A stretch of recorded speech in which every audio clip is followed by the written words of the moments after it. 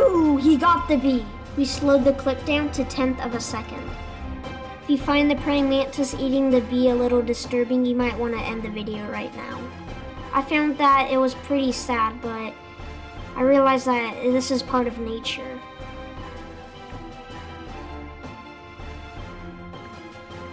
One cool thing about praying mantises is that they have little hooks on their arms, so if you try picking them up, they can bite you and stab you with their hooks.